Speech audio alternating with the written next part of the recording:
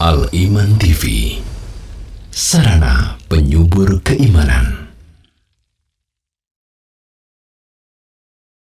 Bismillahirrahmanirrahim. Assalamualaikum warahmatullahi wabarakatuh. Alhamdulillahirabbil alamin.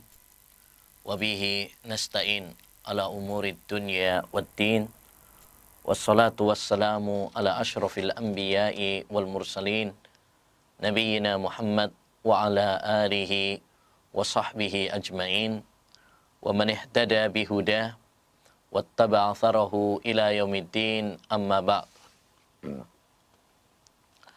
Ma'asyiral muslimin wal muslimat para pemirsa Al-Iman TV yang semoga senantiasa dirahmati dan diberkahi oleh Allah Subhanahu wa taala. Alhamdulillah kita senantiasa bersyukur kepada Allah Subhanahu wa taala atas segala limpahan nikmatnya kepada kita semuanya. Nikmat-nikmat Allah Subhanahu wa taala begitu besar, begitu banyak kepada kita sehingga tak terhingga jumlahnya. maka kewajiban bagi kita untuk banyak. Dan di antara nikmat Allah Subhanahu wa taala yang sangat besar, Allah mempertemukan kita dengan bulan ya Muharram. Bulan yang sangat istimewa.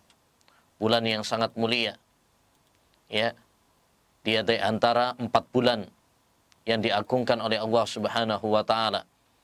Inna iddata syuhuri wa isna asyara syahran fi kitabillah yauma khalaqas samawati wal ard minha arba'atun hurum. Sesungguhnya bilangan bulan di sisi Allah Subhanahu wa taala ada 12 bulan. Ya, di antaranya adalah empat bulan yang diagungkan yaitu bulan Dzulqa'dah, Dzulhijjah, Muharram dan Rajab.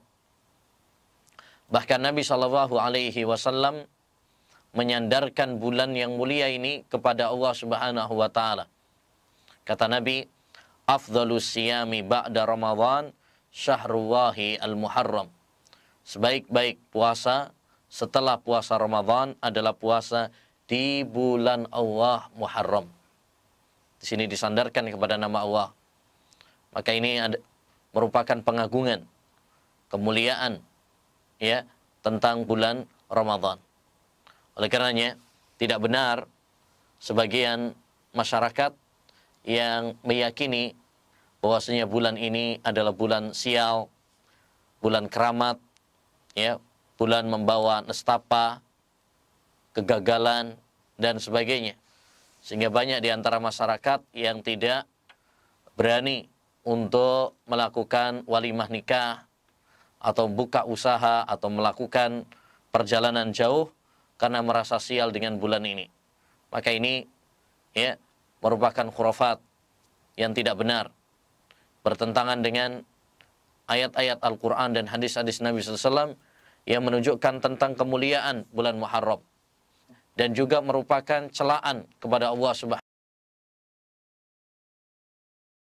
Subhanahu wa taala. Karena yang menciptakan bulan ini adalah Allah, yang mengatur bulan uh, haram adalah Allah Subhanahu wa taala. Nabi bersabda la tasubbud dahra. Ya, jangan kalian mencela waktu, mencela zaman, termasuk mencela bulan. Dan ini juga termasuk tiarah, merasa sial yang dibatalkan uh, dalam agama Islam. Kata Nabi at-tiaratu syirkun. Merasa sial itu adalah termasuk bentuk kesyirikan kepada Allah Subhanahu wa taala. Ya. Termasuk bentuk kesyirikan.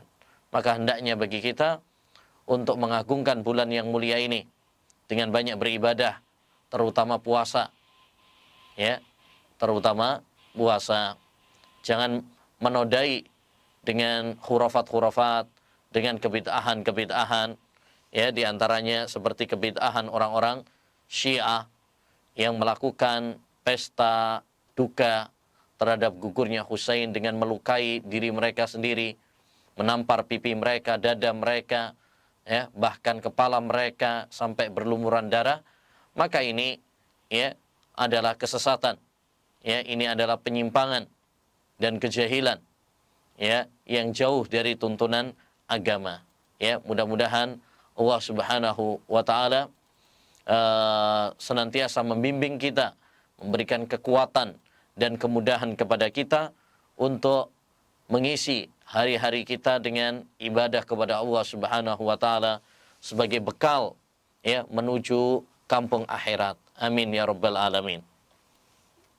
Ma'asyiral muslimin wal muslimat para pemirsa Al-Iman TV yang semoga senantiasa dirahmati dan diberkahi oleh Allah Subhanahu wa taala.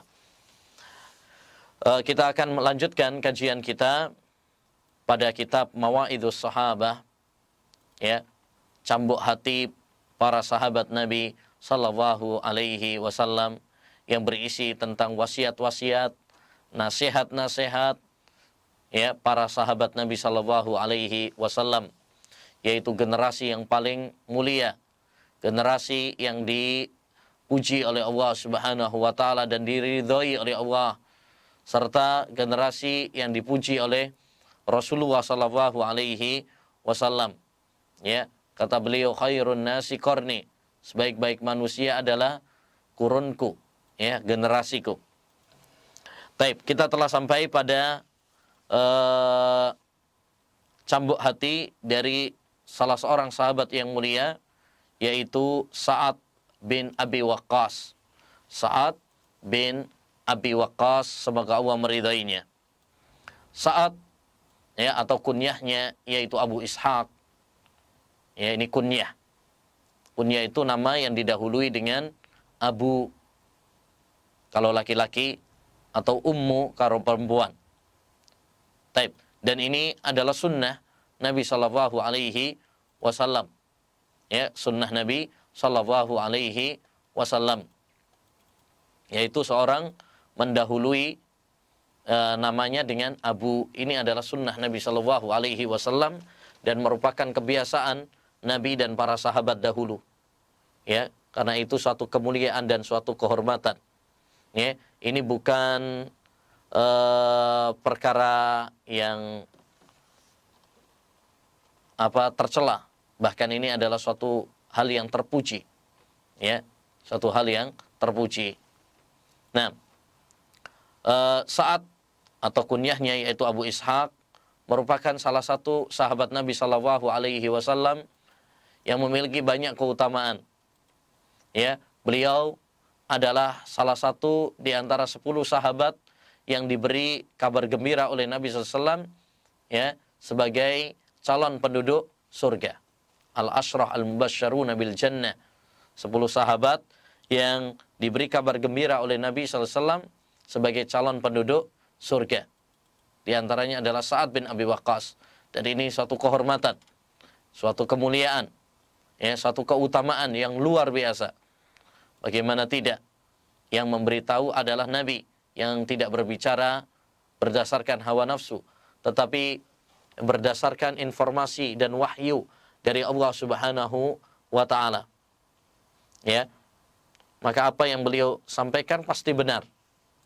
Oleh karenanya boleh bagi kita mengatakan Abu Bakar di surga, Umar di surga, Sa'ad bin Abi Waqqas di surga, Utsman, Ali di surga, boleh. Ya. Karena ini perkara gaib tapi sudah dikabarkan oleh Nabi Shallallahu alaihi wasallam. Oleh karenanya dalam masalah ini yaitu e, menentukan seseorang di surga atau neraka ada tiga keadaan. Yang pertama, jika ada dalil yang menunjukkan bahwa dia adalah calon penduduk surga, maka boleh. Seperti kita mengatakan Abu Bakar di surga, para nabi di surga, ya, Umar di surga, boleh. Yang kedua, apabila ada dalil yang menunjukkan bahwa dia penduduk neraka, maka boleh bagi kita menentukan bahwa dia di neraka seperti Firaun, seperti Abu Lahab, ya seperti Abu Talib. Ada dalil yang menunjukkan bahwasanya dia masuk neraka. Yang ketiga, tidak ada dalil bahwa dia adalah penduduk surga atau penduduk neraka. Maka tidak boleh bagi kita untuk mengfonis, ya menjamin, menentukan bahwa dia adalah di surga atau di neraka. Tetapi ya kewajiban bagi kita adalah berdoa berharap agar orang-orang yang beriman masuk surga dan kita khawatir takut ya kalau-kalau orang yang fasik, orang yang kafir, orang yang uh, orang yang fasik ya akan disiksa di neraka. Taib. Beliau juga ma'asyiral muslimin termasuk seorang sahabat yang ya as-sabiqun al-awwalun, mula-mula masuk Islam.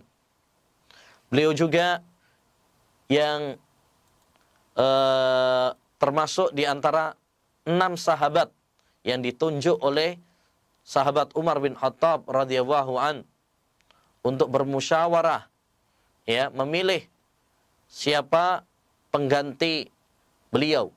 Ya khalifah pengganti beliau. Beliau juga adalah yang menaklukkan ya eh kondisi ya. Ya beliaulah panglimanya. Ya beliau juga seorang yang dikenal dengan mustajab dakwah. Doanya sangat dikabulkan. Ya doanya sangat dikabulkan. Pernah beliau terjadi uh, perseteruan beliau dituduh mengambil tanah orang lain, maka beliau berdoa kepada Allah Subhanahu wa taala, jika apa yang dituduhkan tersebut tidak benar, maka eh, apa namanya butakan orang tersebut ya dan matikan dia ya apa namanya di di sumur dan Ternyata benar. Orang tersebut dia buta, kemudian suatu saat malam-malam ya dia terpeleset di sumur dan meninggal dunia. Yang menunjukkan bahwasanya saat bin Abi Waqqas doanya mustajab. Ya, doanya mustajab. Taib. Beliau banyak memberikan uh, apa namanya nasihat-nasihat yang sangat bijak nasihat-nasihat yang sangat bagus kepada kita semuanya. Di antaranya disebutkan annahu waqa'a bainahu wa baina Khalid ibn al-Walid kalamun. Pernah terjadi antara beliau dan antara Khalid bin Walid ya uh, suatu pertengkaran perselisihan. Ya qaumisluhu bainal ihwa adatan yang biasa terjadi di antara teman. Ya wajar. Biasa terjadi perselisihan, perbedaan, salah paham, ya, miskomunikasi dengan sesama teman, sesama sahabat. Farada rajulun an yasubba Khalid ibn al-Walid inda Sa'ad. Lalu ada seseorang yang mencela sahabat Khalid bin Walid di sisi Sa'ad bin Abi Waqqas. Jadi orang ini tahu bahwa antara Sa'ad bin Abi Waqqas dan Khalid bin Walid ada sesuatu. Perbedaan, ya, pertengkaran biasa terjadi antara sama teman. Akhirnya dia memanfaatkan. Dia mencela sahabat Khalid bin Walid di depannya Sa'ad bin Abi Waqqas. Ya, kita kalau misalkan ada orang yang menyebutkan kejelekan uh, seseorang yang kita benci, yang kita ada pertengkaran dengannya, eh biasanya kita malah ngomporin. Oh iya itu betul gitu. Ya, dia memang begitu. Atau minimal kita diam. Tapi hal ini tidak berlaku bagi sahabat Sa'ad bin Abi Waqqas.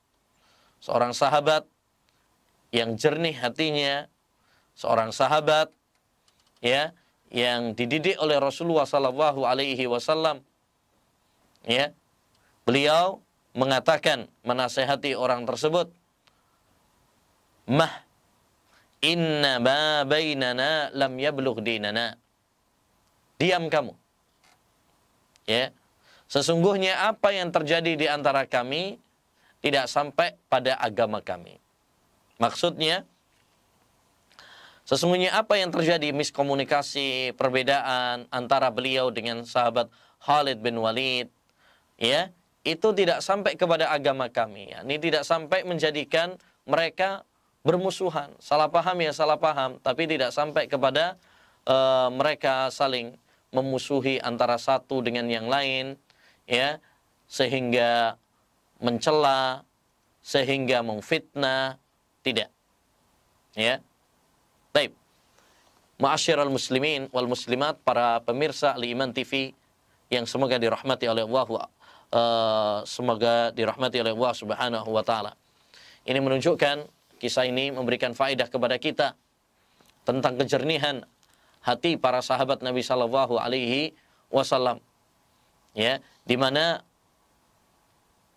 sahabat Sa'ad bin Abi Waqqas tidak ingin terjebak dari sebagian orang yang ingin memancing di air yang keruh.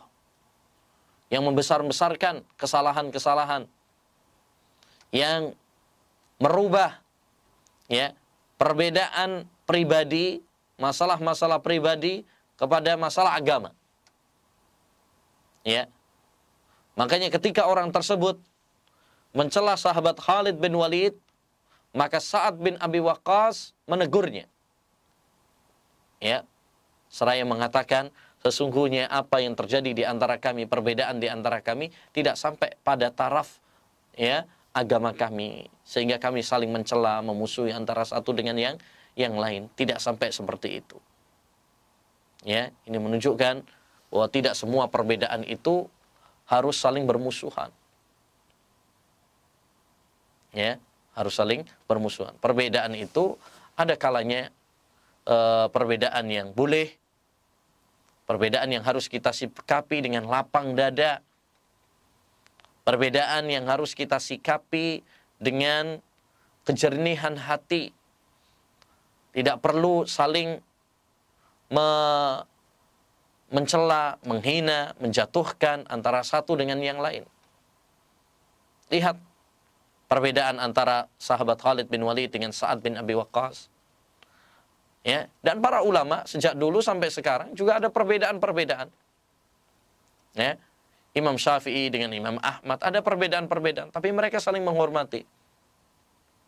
Kata Imam Ahmad, ya saya selalu mendoakan dalam setiap sholat untuk Syafi'i rahimahullah ta'ala. Syekh bin Bas, Syekh Albani rahimahullah. Ada perbedaan-perbedaan di antara keduanya dalam beberapa masalah. Tapi hal itu tidak menjadikan mereka kemudian saling menghina. Saling uh, mencaci maki, bermusuhan antara satu dengan yang lain. Bahkan mereka saling menghormati. Ya, Inilah pentingnya bagi kita untuk belajar fikhul hilaf, fikih perbedaan. Belajar untuk dewasa. Belajar menyikapi perbedaan ya yang terjadi di antara kita. Dan ini sangat penting. Ma'asyiral muslimin wal muslimat karena sering sekali terjadi permusuhan-permusuhan itu karena kita tidak pandai dalam menyikapi perbedaan. Sehingga setiap kali kita berbeda langsung bermusuhan. Tidak saling menyapa. Ya, tidak saling uh, salam. Ya, hanya karena perbedaan-perbedaan. Lihat ya, ada perbedaan antara sahabat Sa'ad bin Abi Waqqas dengan Khalid bin Walid. Tapi ketika ada oknum yang memanfaatkan perbedaan tersebut, justru malah dimarahi. Ya, dan ini peringatan keras bagi sebagian jamaah atau sebagian murid yang malah ngompor-ngompori, yang mengadu domba di antara para ustadz. Ya, ustadz bagaimana pendapat antum tentang ustadz fulan? Ya, nanti demikian pula ditanyakan kepada ustadz yang lain seperti itu juga. Lalu ditubrukkan antara satu dengan yang lain.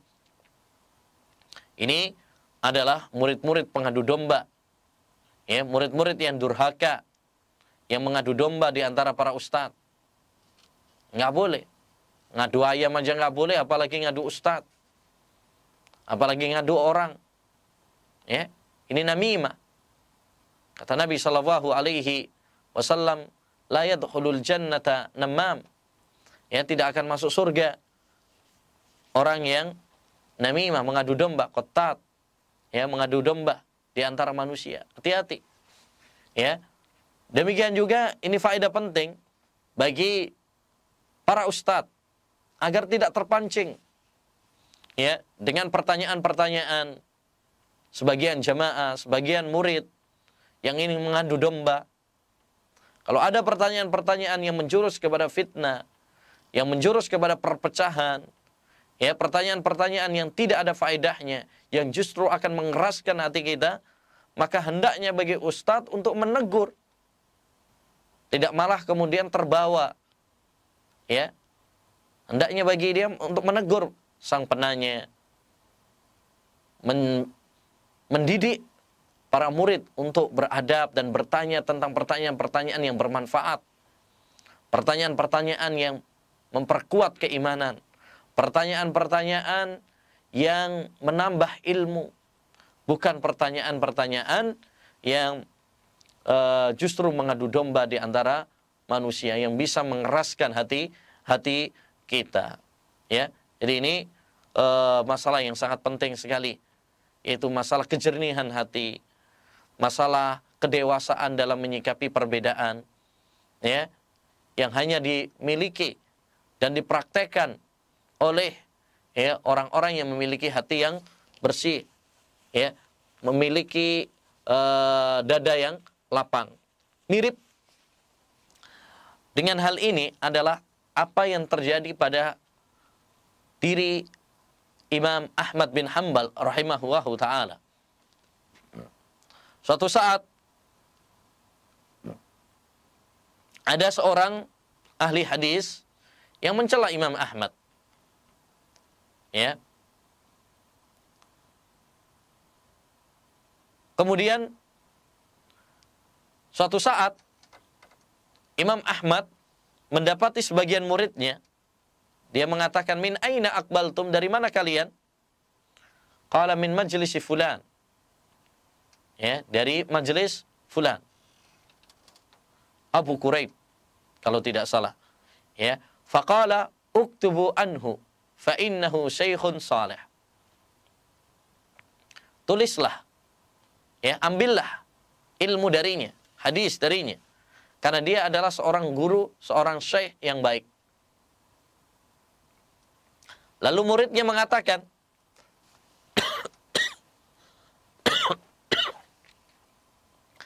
innahu yat'anu alaik. Sesungguhnya Abu Quraib itu mencela engkau wahai Imam Ahmad. Apa jawaban Imam Ahmad? Fa ayyu syai'in hilati? Mau gimana lagi saya? Sayyid salihun qad buliyabi. Dia adalah orang yang baik, hanya saja ya dia uh, mencela aku.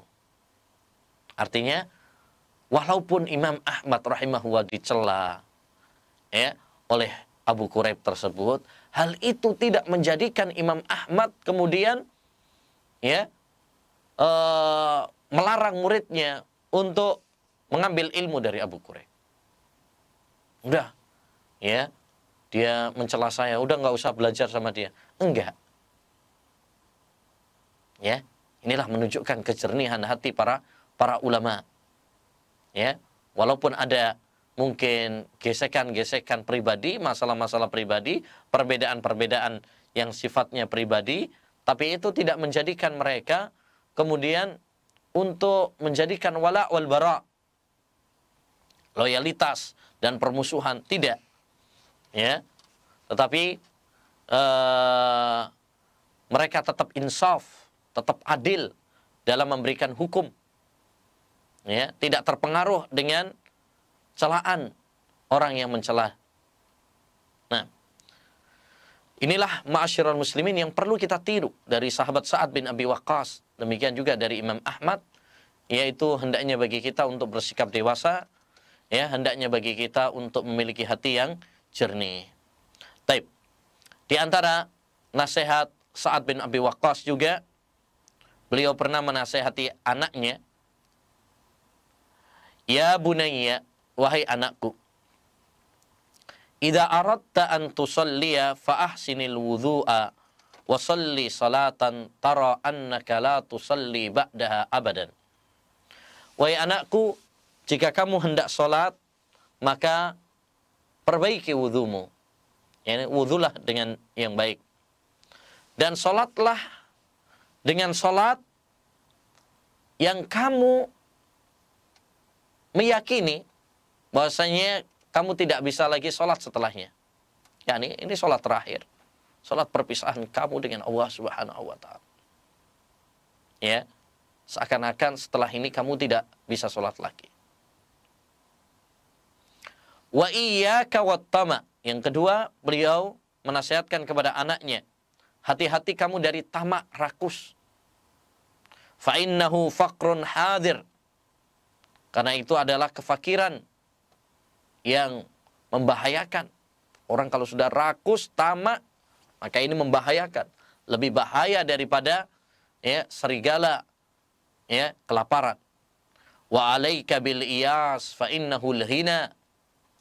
Ya, dan hendaknya kamu memiliki iyas. Iyas itu uh, pesimis untuk mendapatkan sesuatu. Ya, karena orang kalau pesimis mendapatkan sesuatu, maka dia tidak tamak lagi. Fa innahul ghina, itulah kecukupan. Ya. Wa iyyaka wa ma yu'tadharu minhu minal qawli wal amal waf'al ma badalak. Hati-hati kamu dari ucapan atau perbuatan yang kamu lakukan tapi besoknya kamu minta maaf. Klarifikasi. Ya, dan seterusnya. Taib. Ma'asyiral muslimin wal muslimat, ihwani wa ahwati fillah, para pemirsa Al-Iman TV yang semoga dirahmati oleh Allah Subhanahu wa taala.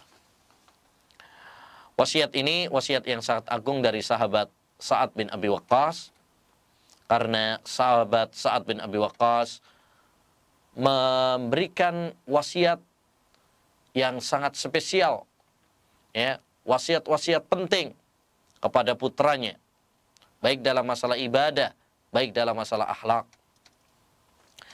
Dan faedah penting dari asar ini bagaimana seorang sahabat Sa'ad bin Abi Waqqas menasehati anaknya.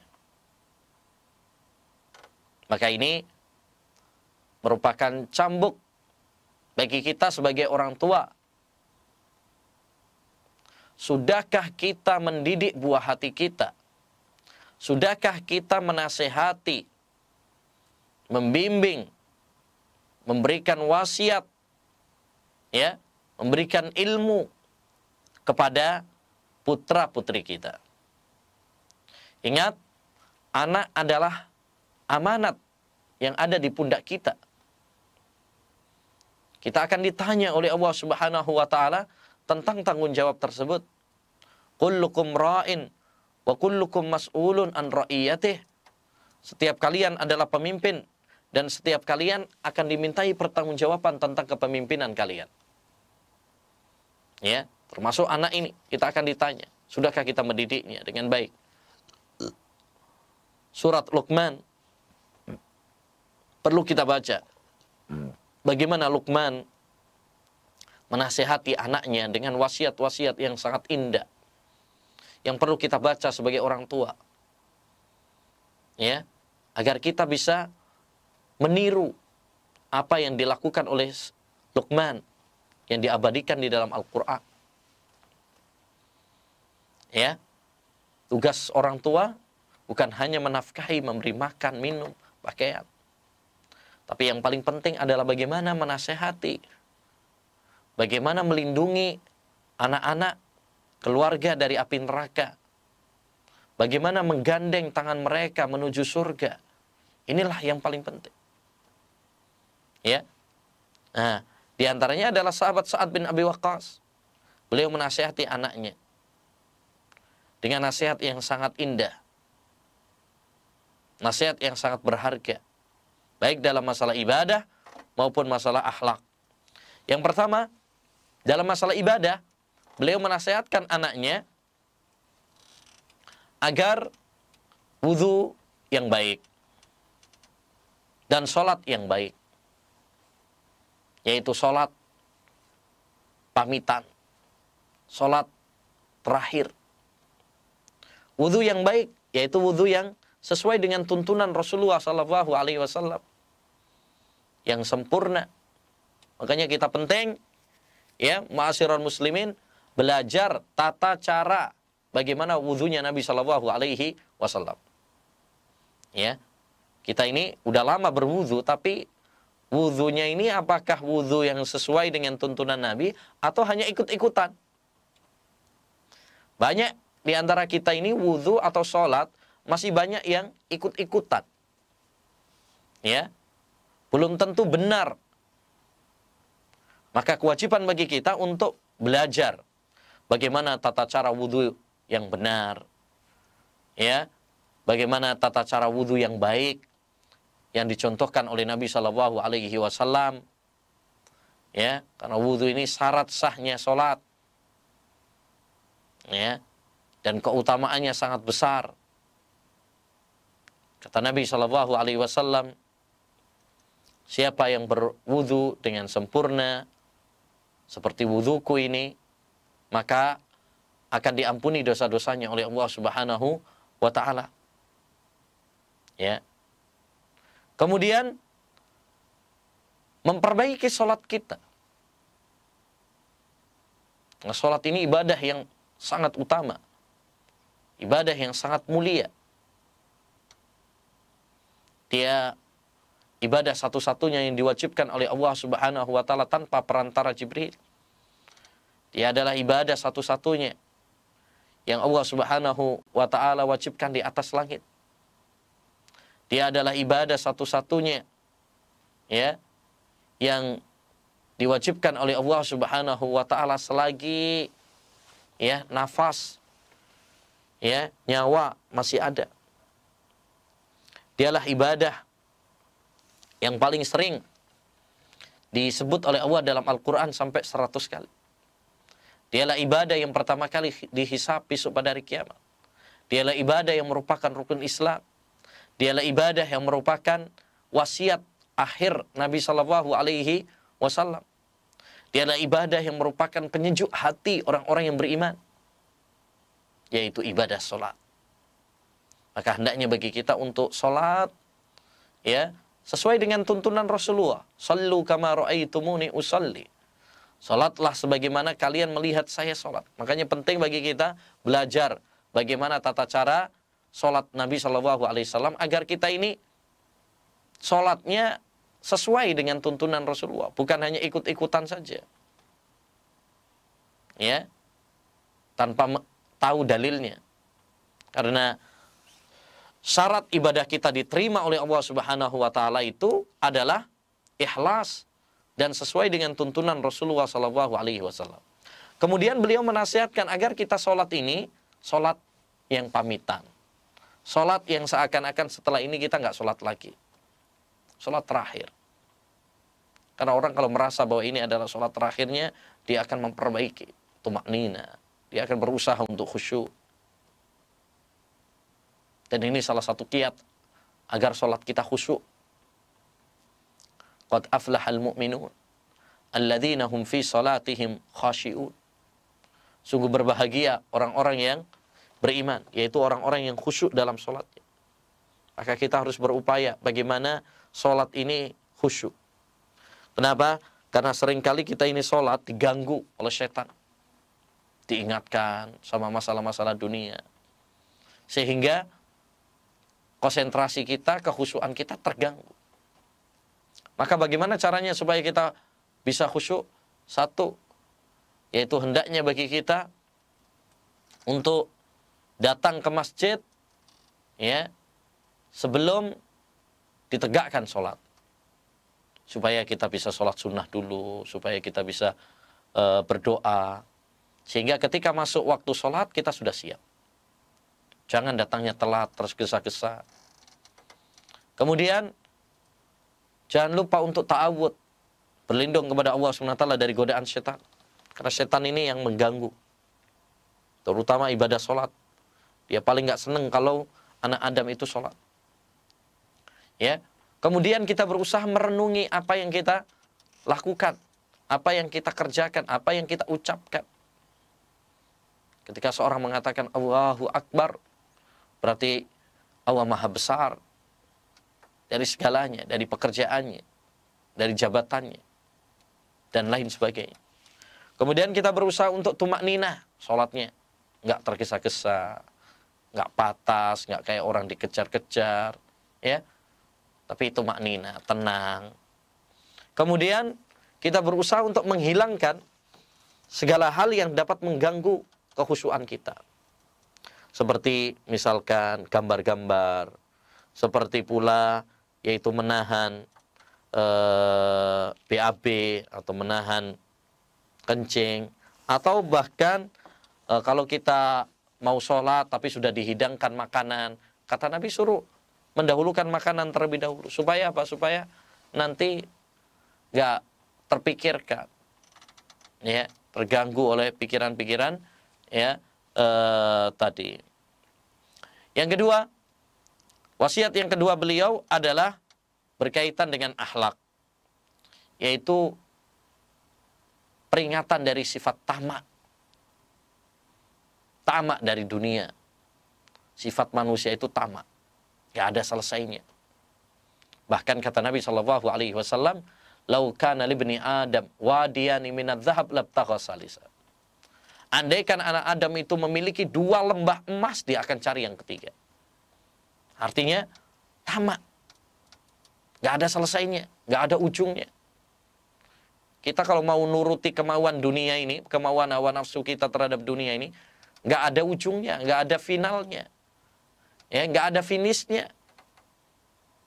Ya, setelah punya sepeda motor, pengennya mobil, setelah punya mobil, pengennya nambah lagi, ya. Setelah uh, jadi lurah, pengennya jadi camat, setelah camat, pengennya jadi bupati, setelah bupati, pengennya jadi gubernur, ya. Setelah jadi gubernur, pengennya menjadi presiden. Demikian seterusnya. Nggak ada selesai-selesainya. Kalau kita mengikuti ambisi manusia, tamak. Dan ini sangat berbahaya. Karena orang kalau sudah tamak, tamak kepada dunia, tamak kepada harta, tamak kepada wanita, tamak kepada jabatan, ini lebih merusak ya daripada serigala kelaparan ya merusak domba. Sebagaimana kata Nabi alaihi salatu wassalam, "Madhi bani ja'iani ursila ila ghanamin bi afsadalaha min hirsil mar'i alal mali wasyarafi lidini.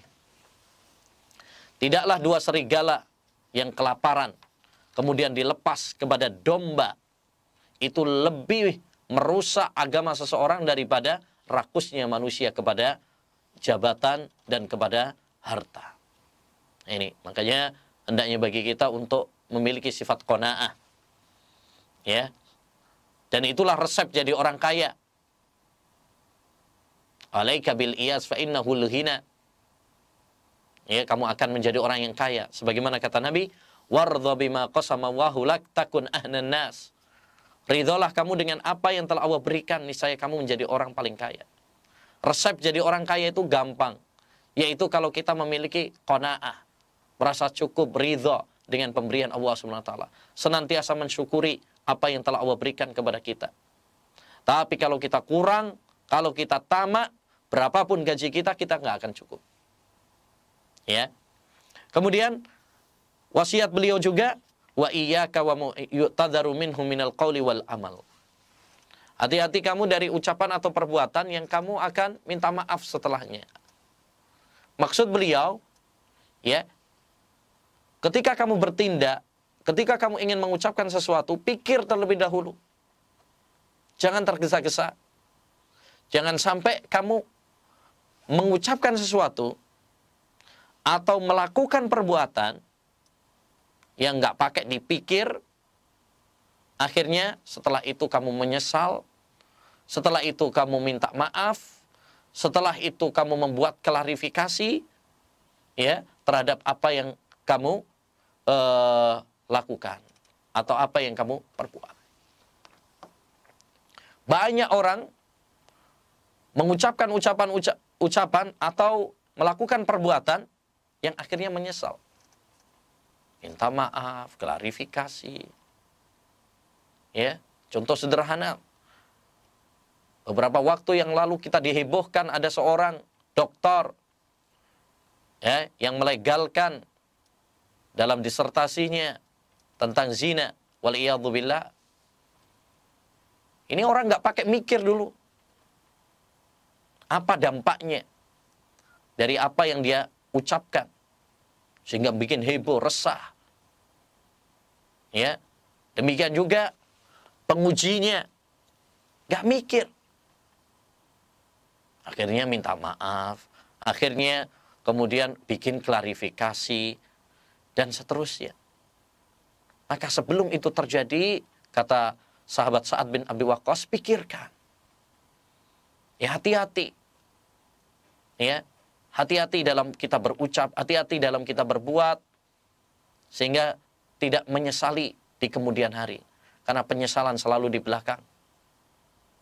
Ya, kalau di depan namanya pendaftaran katanya. Ya, semuanya di belakang.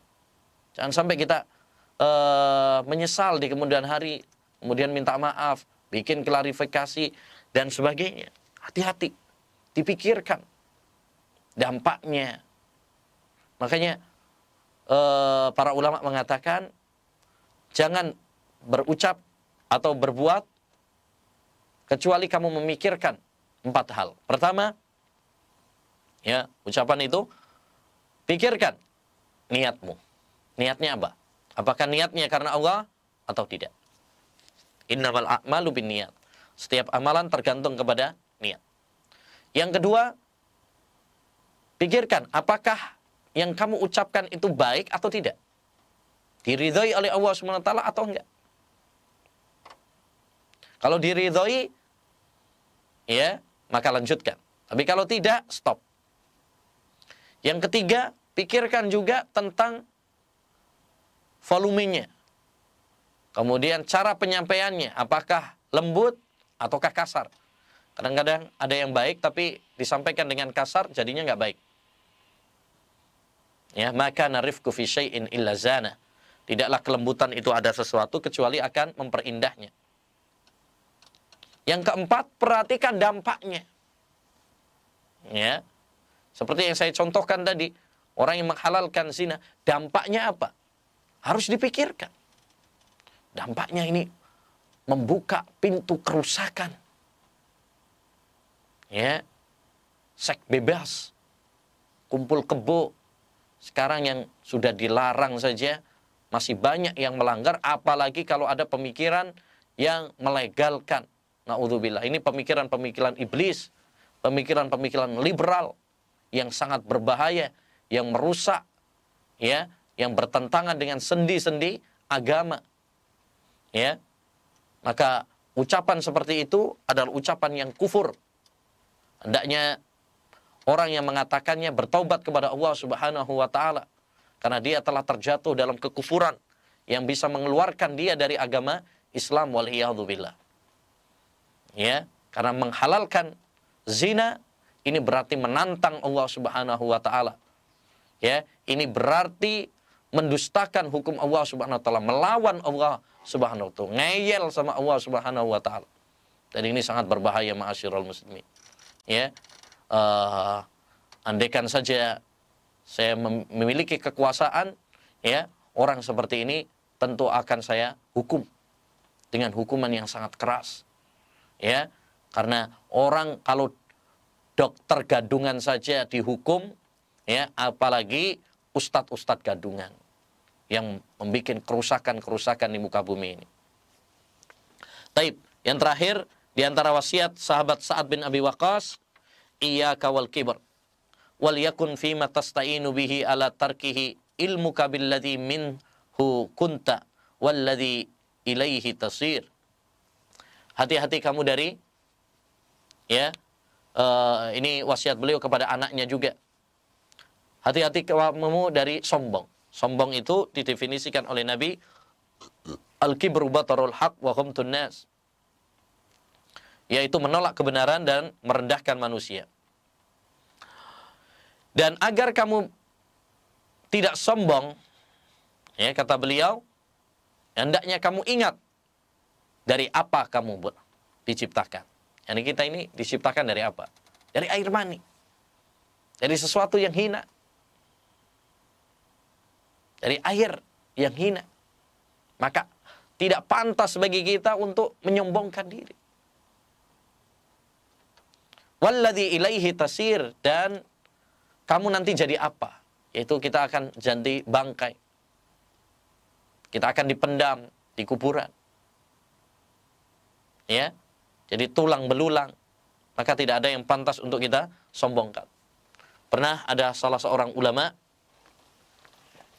menegur seseorang karena dia berjalan dengan sombong.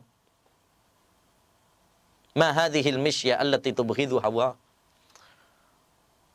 Ya, sifat jalan apa ini? Ini kan dibenci sama Allah SWT. Orang tersebut mengatakan, kamu nggak tahu saya, yakni kedudukannya.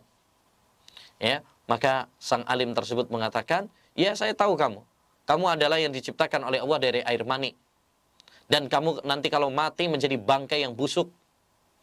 Dan setiap hari kamu membawa kantong ya kotoran. yakni apa? Perut. Yang isinya kotoran. Ini apa yang kita sombongkan? Kita ini diciptakan dari air mani yang hina. Nanti kalau mati juga mati uh, menjadi bangkai dan uh, dikubur, ya. Kemudian setiap hari kita membawa kantong, ya, kotoran. Lantas apa yang perlu kita sombongkan? Gak ada yang perlu kita sombongkan. Gak ada yang pantas kita sombongkan. Ya, maka hendaknya bagi kita untuk membersihkan diri kita, hati kita dari penyakit-penyakit, dari noda-noda, kotoran-kotoran. Termasuk di antaranya adalah ya, e, noda sombong ini. Demikian e, tiga wasiat penting dari sahabat Sa'ad bin Abi Waqqas. Mudah-mudahan wasiat beliau, ya, nasihat beliau bisa menambah keimanan kita semuanya. Amin ya rabbal alamin sallallahu wasallam ala nabiyina Muhammad wa ala alihi wa sahbihi ajmain.